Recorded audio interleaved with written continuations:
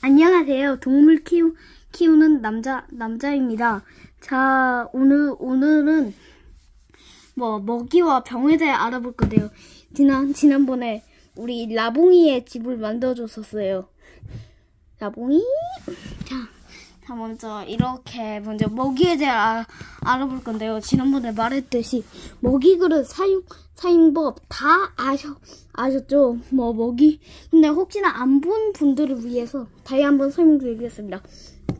먹이 그릇에 이 영양제를 뿌려줍니다. 그 다음 그 다음에 요 여기 여기 보이 보이시는 이 이라는 애벌, 애벌레를 넣, 넣어주세요. 그렇게 넣으면 얘가 자동으로 먹, 먹습니다.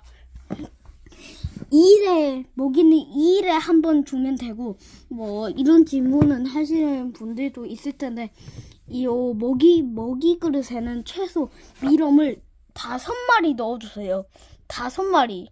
그, 그런, 그런데 뭐, 음, 뭐, 이, 뭐 얘가 성체다. 성체다. 아까 말, 제가 1편에서 말했듯이 얘는 아직 새끼예요, 새끼. 근데 얘가 성체가 되자, 되잖아요? 그러, 그러면 최소 여기에 15마리나 10마리씩 넣어, 넣어주면 됩니다. 자, 뭐, 뭐, 그렇게 해도, 해도 되고, 여기 보이시는 이 핀셋 있죠?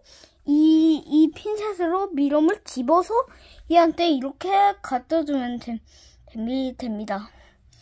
뭐, 이러, 이렇게 하, 할 수도 있고, 뭐, 오늘 먹이에 대해 알아볼 건데, 먹이는 뭐, 대충, 뭐, 별로, 키울, 뭐, 배, 배울 거 없거든요.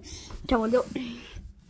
자, 근데 제가, 저도 이건 처음 알았는데, 제가 실수로 이 라봉이 먹이에, 라봉이 머리, 머리에 이 물을 뿌려버렸군.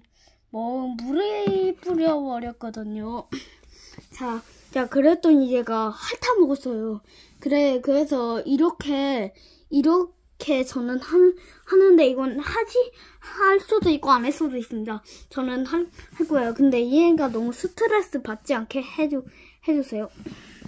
자, 자, 뭐, 이러, 뭐, 이렇게, 먹이는 뭐, 대, 대충, 뭐, 이렇게 하시면 된다. 자, 그, 하지만 아직 끊은 게 아닙니다. 오늘 이 미롬이 있잖아요. 다 크면 뭐가 되는지 알아보도록 하겠습니다. 자, 자 따라오시죠.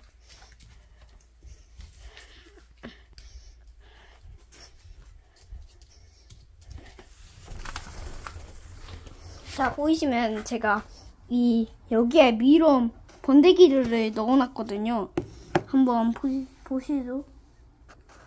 자, 여기 미럼 번데기들이 있습니다. 먼저 미럼이 하면 먼저 이 번데기가 됩니다. 뭐, 뭐, 그 다음에 뭐, 대충, 뭐, 이 번데기? 그 다음에 그 번데기도 거치면, 이제는, 이제 거절이라는 얘가 되, 되는데요. 얘가 고절입니다.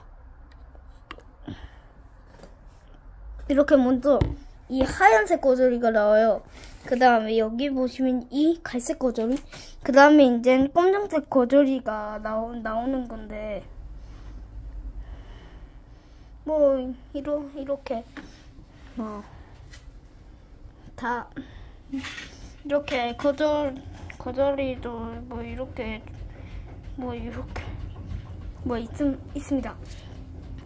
자, 이제는 본격적으로 병에 대해 알아, 알아봅시다. 자, 나중에 먹이 2편도 찍을, 찍을게요. 자, 이제 병에 대해 알아보도록 하겠습니다. 자, 한번 출발해 보도록 하게, 하겠습니다. 아브라카타브라, 얍! 자, 보셔, 보셨죠? 자, 이렇게 이제 병에 대해 알아볼 건데요. 동마뱀이 아프다. 먼저, 눈병이나 뭐, 뭐, 꼬리, 꼬리, 꼬리가 휘거나 뭐, 이런 다양한 경우, 경우들이 있는, 있는데 오늘 간단한 병원으로 데리고 가는 법을 알겠습니다. 자, 자, 중간, 자, 여기 보시는 이 아이스박스 있잖아요. 자, 제가 아이스박스를 하나, 하나 구해왔습니다. 자, 이제 한번 이 칼로 터보도록 하죠. 제가 뭐 이렇게 아이스박스를 뭐 텄습니다. 뭐 칼을 사용할 때는 뭐 조심하세요. 자, 잠깐, 잠깐 어디 좀 다녀오겠습니다. 자, 그 다음에 있잖아요. 이 핫팩 필수입니다.